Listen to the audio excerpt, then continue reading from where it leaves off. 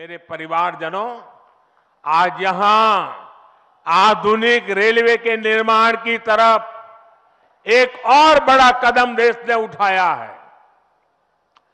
वंदे भारत और नमो भारत के बाद आज एक और आधुनिक ट्रेन देश को मिली है।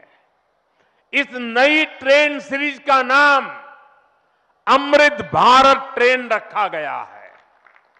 वंदे भारत, नमो भारत और अमृत भारत ट्रेनों की ये त्रिशक्ति भारतीय रेलवे का कायाकल्प करने जा रही है। इससे बड़ी खुशी की बात क्या हो सकती है कि पहली अमृत भारत ट्रेन अयोध्या से गुजर रही है। Delhi Darbhanga Amrit Bharat express train, Delhi UP Bihar के लोगों की यात्रा को आधुनिक बनाएगी। इससे बिहार के लोगों के लिए भव्य राम मंदिर में विराजमान विराजने जा रहे रामलला के दर्शन को और सुगम बनाएगी। ये आधुनिक अमृत भारत एक्सप्रेस ट्रेन विशेष रूप से हमारे गरीब परिवार हमारे श्रमिक साथियों को बहुत मदद करेगी। श्री रामचरित मानस में गोस्वामी तुलसीदास जी ने कहा है, परहित सरित धर्म नहीं भाई, पर पीड़ा सम नहीं अदमाई।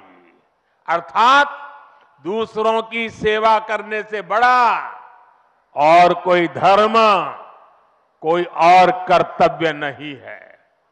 आधुनिक अमृत भारत ट्रेनें, गरीब की सेवा इसी भावना से ही शुरू की गई है। जो लोग अपने काम के कारण अक्सर लंबी दूरी का सफ़र करते हैं, जिनकी उतनी आमदनी नहीं है, वे भी आधुनिक सुविधाओं और आरामदायक सफ़र के हकदार है। गरीब के जीवन की भी गरिमा है। इसी ध्येय के साथ इन ट्रेनों को डिज़ाइन किया गया है। आज ही पश्चिम बंगाल और कर्नाटका के साथियों को भी उनके राज्य की पहली अमृत भारत एक्सप्रेस ट्रेन मिली है।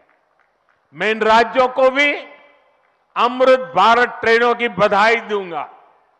मेरे परिवारजनों विकास और विरासत को जोड़ने में वंदे भारत एक्सप्रेस बहुत बड़ी भूमिका निभा रही है। देश की पहली वंदे भारत एक्सप्रेस ट्रेन काशी के लिए चली थी। आज देश के 34 रूट पर वंदे भारत एक्सप्रेस ट्रेनें चल रही है।